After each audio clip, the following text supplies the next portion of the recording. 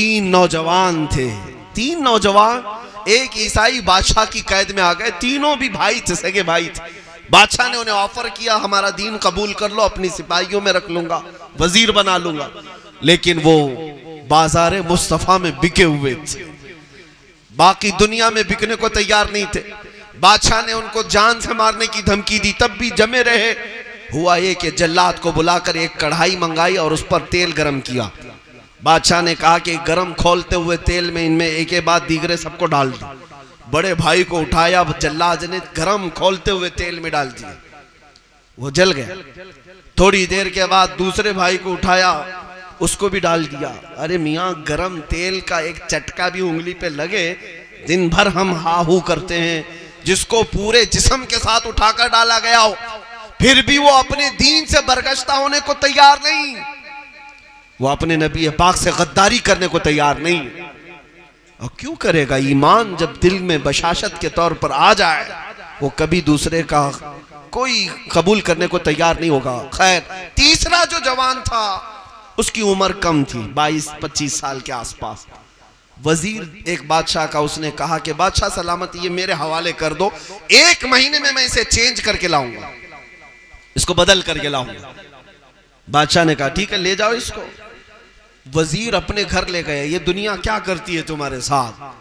ये mob lynching करके डराती है पहले, कि तुम अपने दीन से दूर हो जाओ, टोपी रखना छोड़ दो, दाढ़ी मुंडाने लग जाओ। ये वीडियो यूँ ही गर्दिश नहीं करवाए जाते। दहशत ये फैलाते हैं तुम्हें।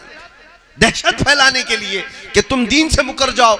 इसका सबसे बेहतरीन जवाब यह है कि कल चार लोग दाढ़ी रखते थे, आज चालीस को दाढ़ी रखना चाहिए। हर एक जवान उठे और कहे, जिस तरह तुम मेरे नबी पाक के अखलाक मिटाने की कोशिश करोगे, उतना ही मैं अपने नबी के अखलाक को ज़िंदा करूँगा। मैं और ताबिंदा करूँगा अपने अमाल से, अपने अशगाल से।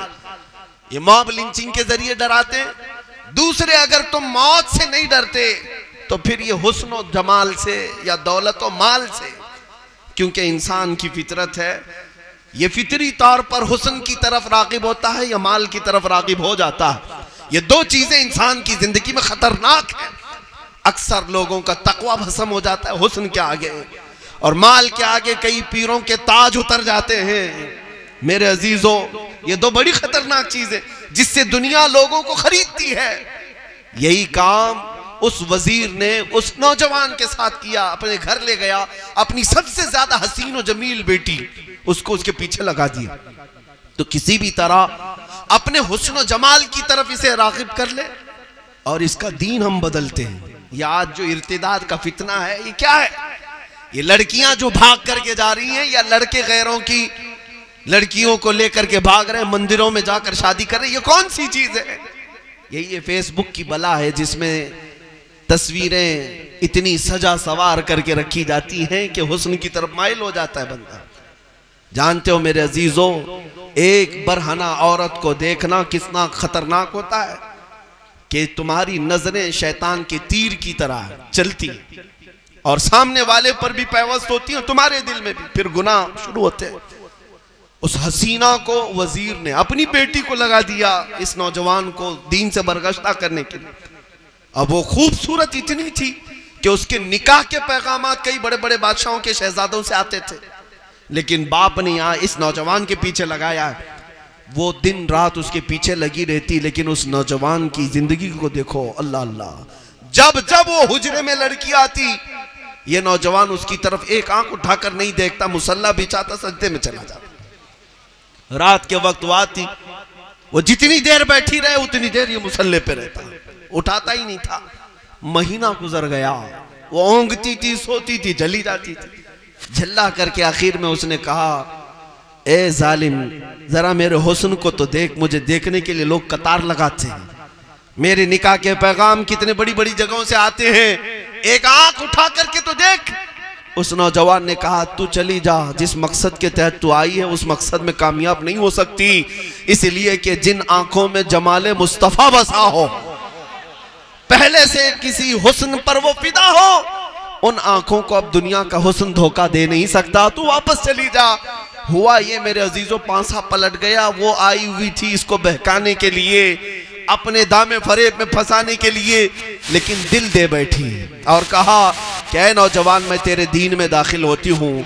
तो मुझे कलमा पढ़ा ले और तेरे दीन में दाखिल कर। उसने उसे दायरा इस्लाम में दाखिल किया। अब जो बात जो बात अर्ज़ करनी है वो ये है कि उस नौजवान दुशीजा ने इससे कहा, मैं अपने बाप के चंगुल से और बादशाह से तुझे छुड़ा करके बहुत दूर ले चली जाऊँ, इस्लामी सल्तनत में चलते। ये कुफरिस्तान से आज़ाद होकर निकलते, ये दोनों रात के वक्त निकले। रात के वक्त उस लड़की ने उसे आज़ाद किया।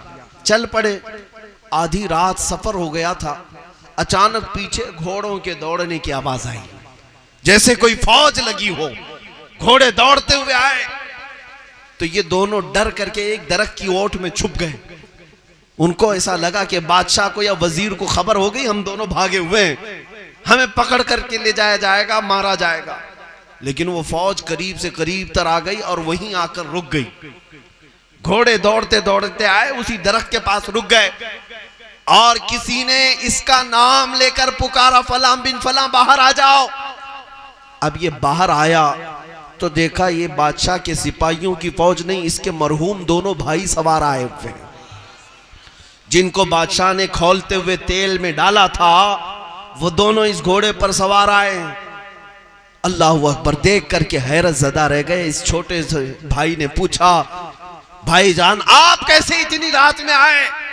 उन दोनों नौजवानों ने कहा कि, ए हमारे नन्हे भाई, क्या तुझे पता नहीं, अल्लाह की राह में जो मारा जाता है, वो मुर्दा नहीं होता? अल्लाह ताला ने हमें बरजखी ज़िंदगी बख्शी है। और ये जो जमात तू देख रहा है, ये सहाबा के शहीदों की जमात है।